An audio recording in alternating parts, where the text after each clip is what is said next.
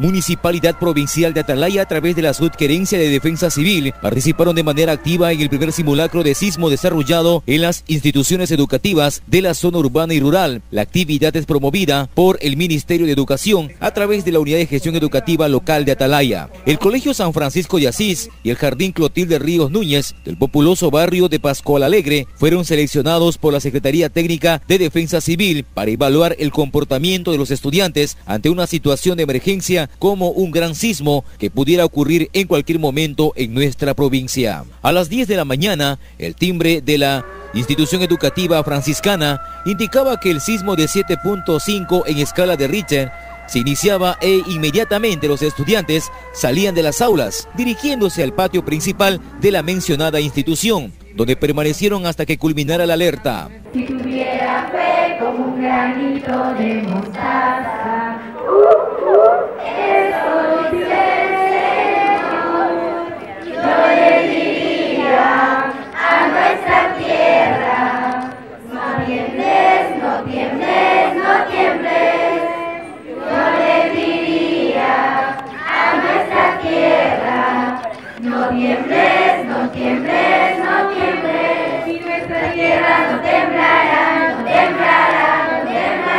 Durante la emergencia, actuaron rápidamente las brigadas de evacuación, rescate y primeros auxilios.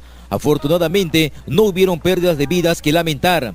Sin embargo, la directora encargada, profesora Sonia Ortega Córdoba, manifestó que aún falta mucho para estar a la altura de las circunstancias. Eh, esta es una tarea muy importante dentro de la labor educativa porque nos va, a enseñar, va a permitir enseñar a los alumnos la cultura de prevención para que ellos puedan actuar ante una emergencia. Entonces, estamos a las prácticas de los simulacros. Viendo la observación, todavía hay que mejorar, pero estamos en un camino hacia el éxito.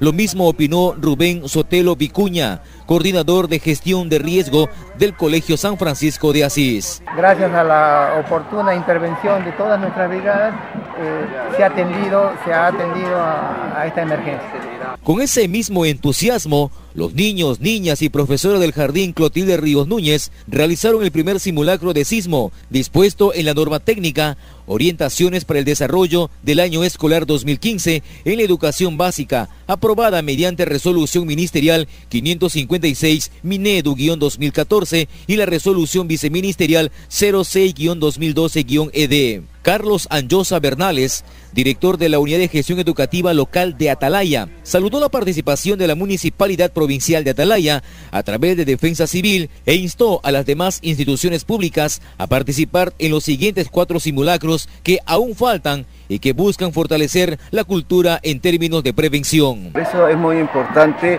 asistir a los simulacros que programa el Ministerio de Educación, pero como institución cada institución tiene un contexto distinto, una realidad, una realidad distinta a otras instituciones y estamos obligados como institución a adecuar, a adecuar los simulacros de acuerdo a nuestra realidad. En, la selva sabemos que no es muy común los, los sismos. Pueden ser incendios, pueden ser inundaciones, podemos tener friaje, lluvias torrenciales, y de acuerdo a nuestra realidad.